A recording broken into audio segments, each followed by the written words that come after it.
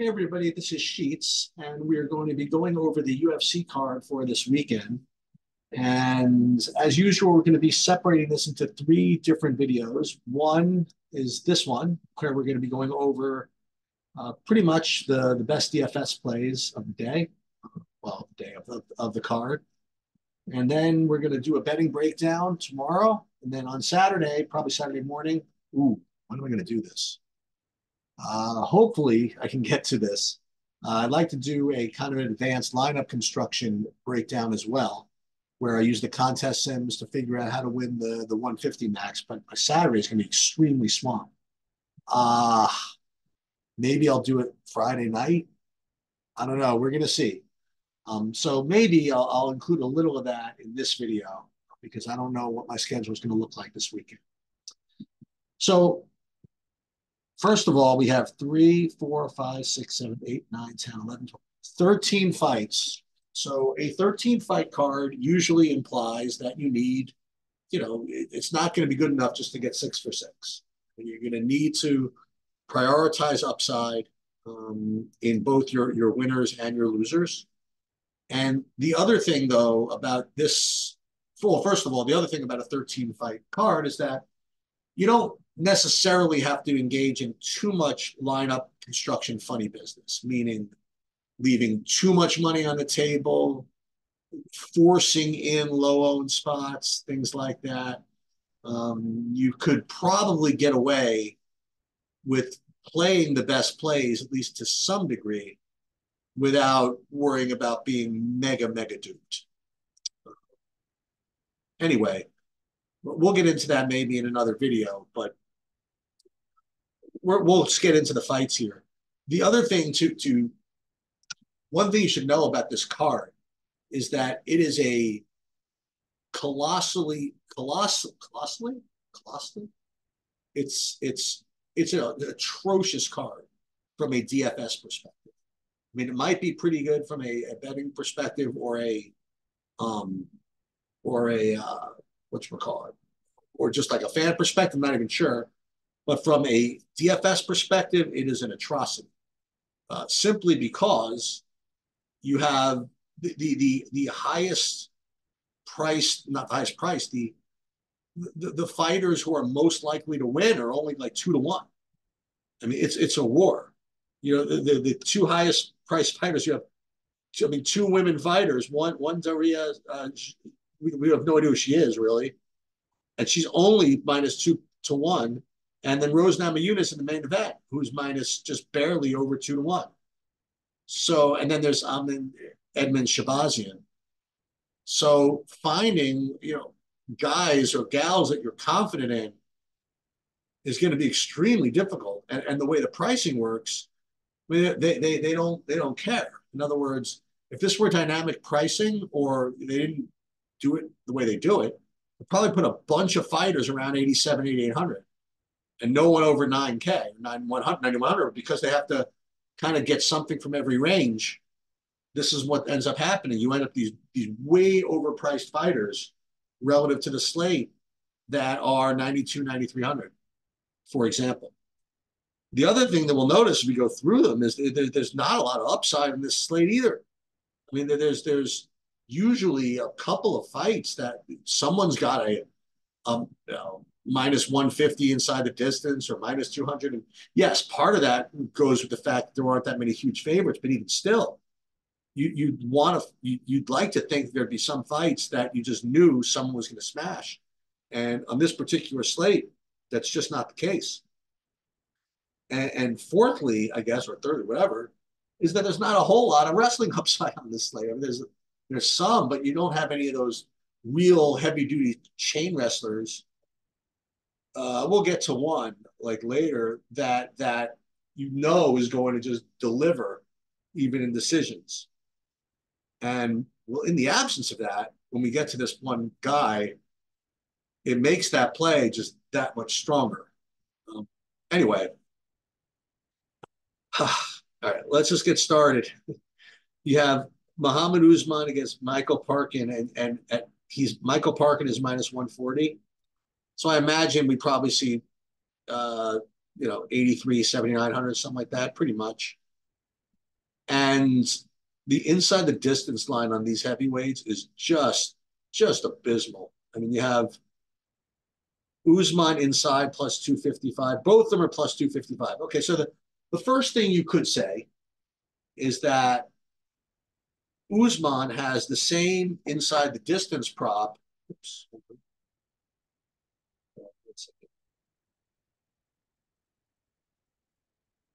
Sorry.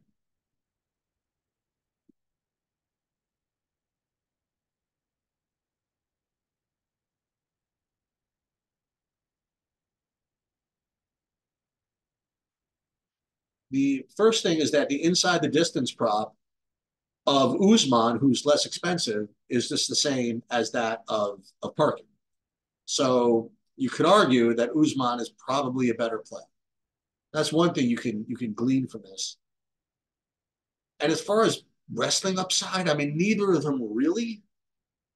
I mean, you saw Parkin at least maybe he got it. He did get three takedowns, I guess, in his last fight, but it, it's it wasn't exactly, you know, Merab.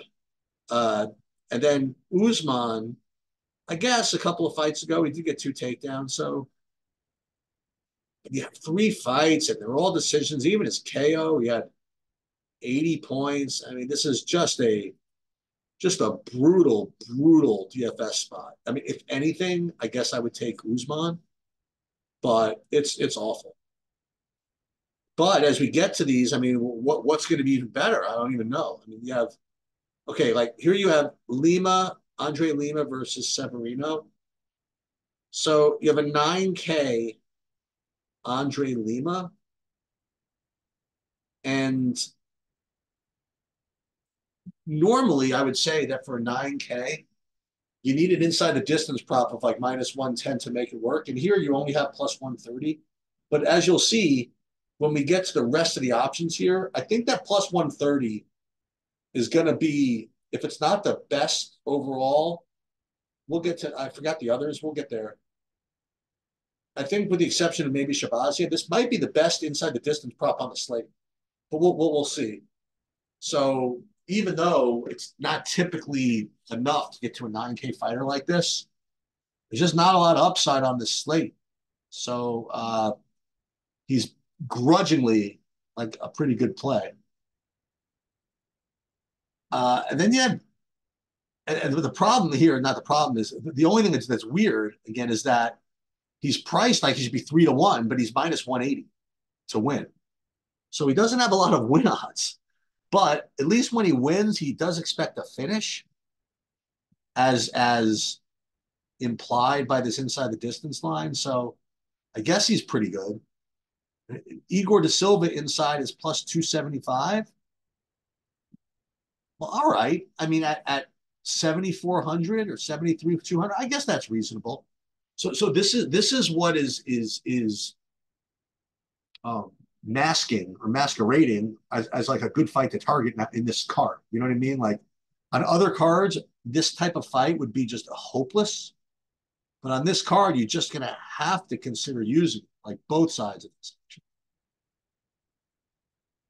All right, so now the aforementioned uh, Daria Zheleznikov, Zhelezniakova. Now this one, you have an $8,800 fighter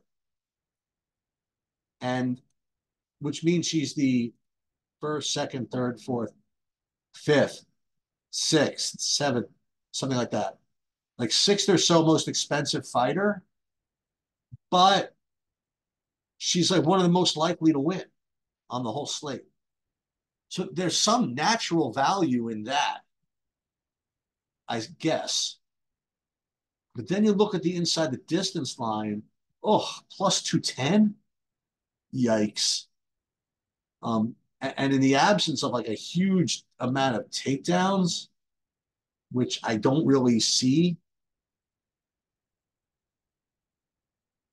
it's just a weak play.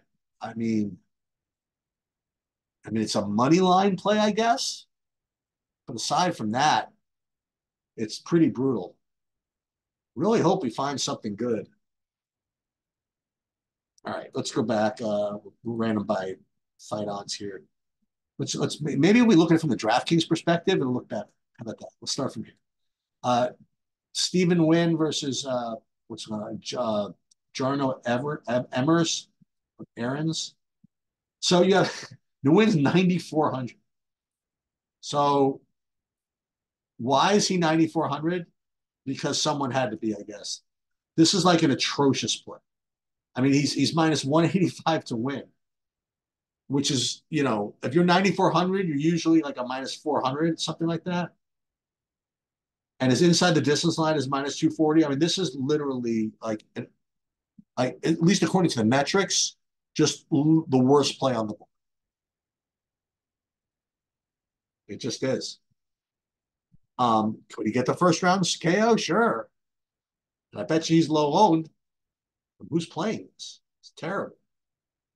Uh, and the problem with the Jarno Errens side is inside the distance line. I guess it's all right at 315, but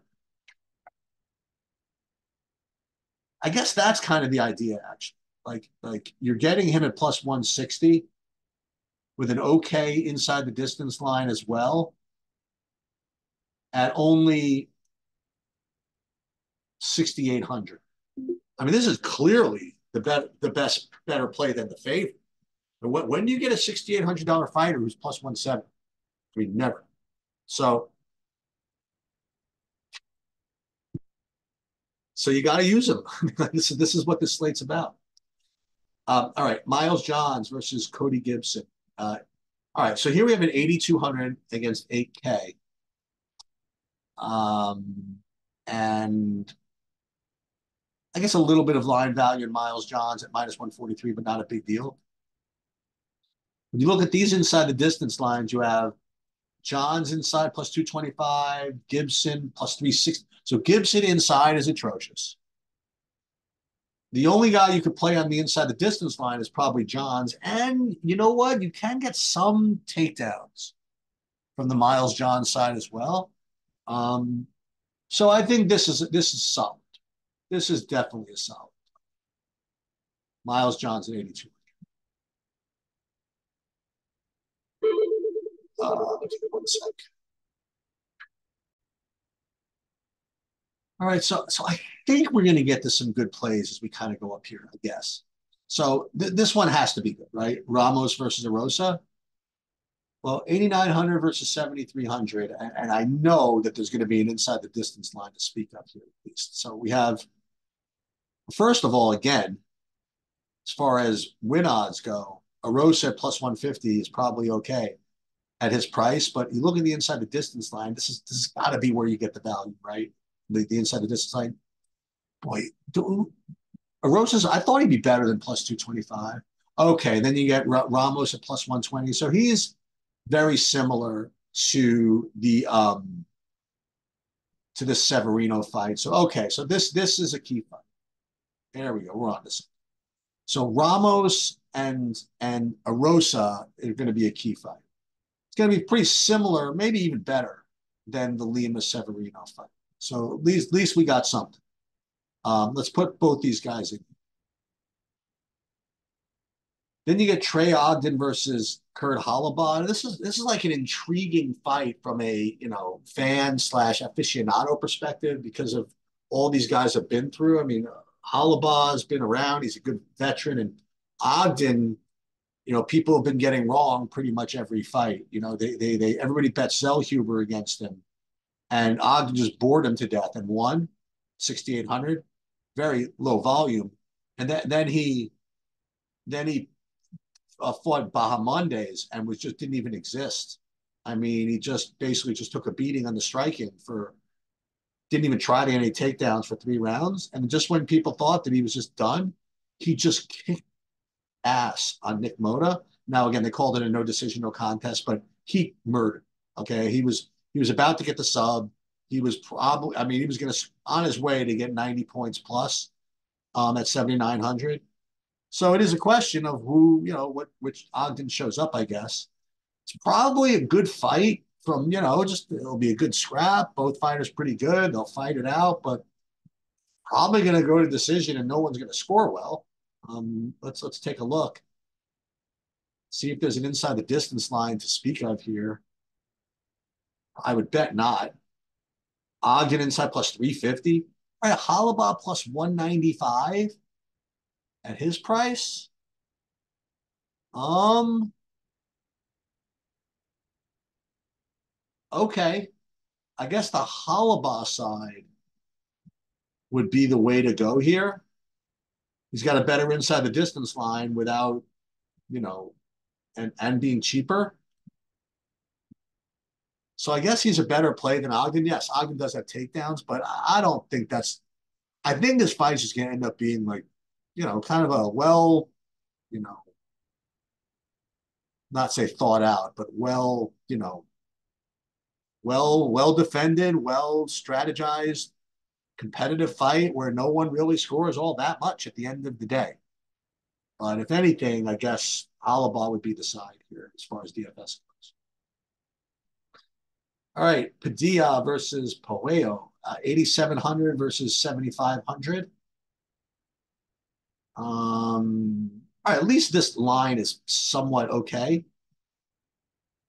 But again, you look at the inside the distance line. Let's take a look. There's got to be something here. Okay. All right. P Padilla plus 140. Fair enough. Maybe. What's his price? 8,700. I suppose. I mean, I suppose this is similar to the to the Severino fight. You know, he's Padilla's a little bit cheaper, a little more likely to finish. So okay, fair enough.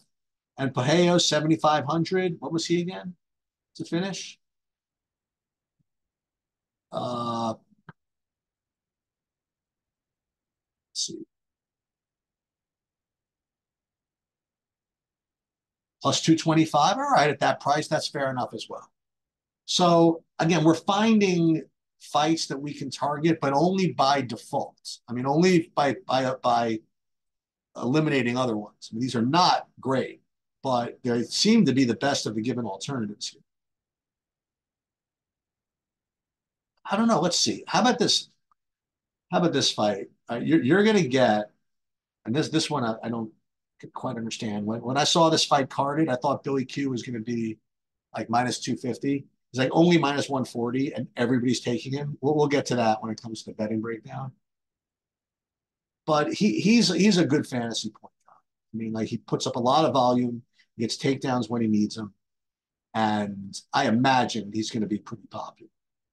Um, now, when we look at the inside the distance line, that's probably not going to be that great. Let's take a look. But, I mean, what's, what's, what is he? Billy Q inside plus 325. So that's actually really awful. Uh, and Zalal is even worse. But, but Billy Q does have that volume at least. So if you want to play a guy who might not rate so well, um, because of his inside the distance line, but he could put up volume. I guess Billy Q would be someone you play. Now Zalal is just probably not playable in DFS, but um, we'll get to the betting breakdown later. But I imagine that everybody's going to play Quarantillo at minus one. Anyway, um, moving on. Payton Talbott versus Cameron Saaiman. All right, all right. Let's take a look at this one, and we're going to get to uh, to a good guy in a minute.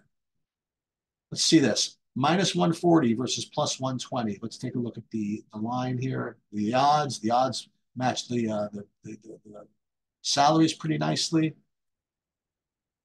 Let's take a look at the inside the distance line. Um, Talbott at minus 140, hey, plus 215. But I guess that's no worse than any of these others. Saaiman, no. So it's either Talbott or nothing. So what's better, like Talbott or Miles Johns? Talbott is is plus 215. And what was Miles Johns?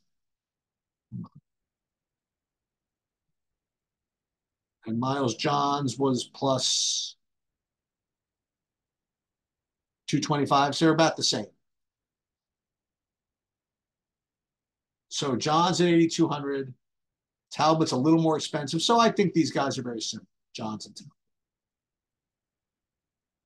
All right, Ed Shahbazyan versus AJ Dobson. All right, so I think this might be the best inside the distance line, but we'll see. Edmen Shahbazyan, is he minus 110? Is he close? Let's see. A Shahbazyan, I almost minus 110. It's like plus 105. So this is the best that we have. And normally it would be a fringe play at 9K. Um, but on a slate like this, you have to consider it. I wish he had more wrestling. Doesn't really. Um, so he's a decent 9K fighter. Uh, AJ Dobson, I don't imagine is inside the distance line is going to be any good here. Uh, plus 400, so probably not. So this is this is where like the action is here. I mean, we talked about nothing but just you know very fringy plays, even as favorites, but but now you have a guy who you know is going to score. So you have Karl Williams against Justin Tafa. He's 8,800. And his inside the distance line is is is not that great, like plus 155, but guy just just goes for these takedowns and he just keeps going for them. Um, and on a slate which is bereft of, of, of upside, I mean, this result here is something just that has to be respected, you know? Um, you know, if, if so if he puts up 130, oh man, he's 9,300 though. If he puts up 130 in the spot, I mean, it's just winning. Problem is, is that there's the 71 here also at 9,300. If that happens, you're you're toast. Ugh. Can you really pay 9,300 for Karl Williams? And just hope you get that parlay of takedowns plus finish? Then the other thing is that Karl Williams really hasn't finished anybody, right?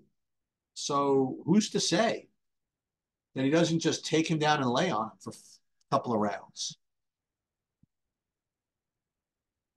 So I, am going to call this one fishy, actually. I was expecting this to be a great play, but I'm going to call this one fishy. And Tafa on the other side at 6,900. Uh, uh, let's see. Is inside the distance line. Plus, well, I mean, Tafa inside a plus 220. I mean, this is this is what you want to play, right? I mean, th this is what you want.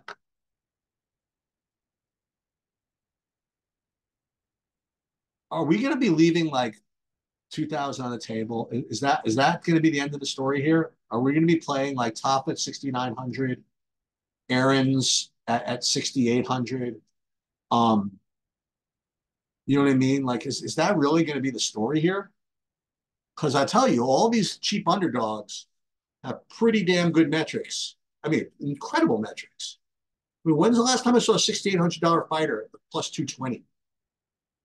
Oh, goodness gracious. It's this, this, this. I think that's the answer. I think the answer to this slate is that the winning lineup is going to have a, like money left on the table. So you intentionally might leave money on the table? I don't even think you have to. I think you're going to get there organic. What do you think about that? So what you should do is not set any minimum salary, but I I I think you're going to get to salary on the table organically. That's that's my that's my take before all the sim numbers come out, before all the projections really come out. That's that's my take. And then the main event, you have Rose Namajunas versus Amanda Ribas. Um, okay, so it's a five round fight. So it certainly has to be respected, right? Um, especially considering the fight is probably even money to go to a decision it's important that that you know you should that Rose, for example, gets those five rounds to work with. So there's there's nothing wrong with this as a play. There's just nothing wrong with it. She's not really. She doesn't really rack up all that many points, I guess. I mean, she's got a hundred in this this decision win. Forget the the KO here, but she has the hundred decision win, which is which is big. You know, it, it, it might be big enough. Um, I have a feeling it's more of a ceiling. I don't know. She has this one here with a 119 and a 117. So yeah, I, I suppose she has a ceiling. And certainly Ribas at 7K. I mean, in a five round fight. I mean, she she certainly is playable also. So so this this this is this is so this is my analysis. I knew it was going to be a shit show, the slate. Didn't realize even how much until we got started here. And so what I'm going to say is that, and we'll get, uh, I guess I'm going to have to do a lot of construction video because I do believe that the optimal lineup is going to be one that leaves money on the table and, that may be significant uh, is that going to be the one that actually wins? I, I, think it's very possible that the winning lineup, uh, that the optimal lineup is not even played in the lottery. And that's going to be my take. That the winning, that the that the optimal lineup, like the best score of the top six fighters, will not be played by anybody in the competition. But we shall see. Good luck, everybody.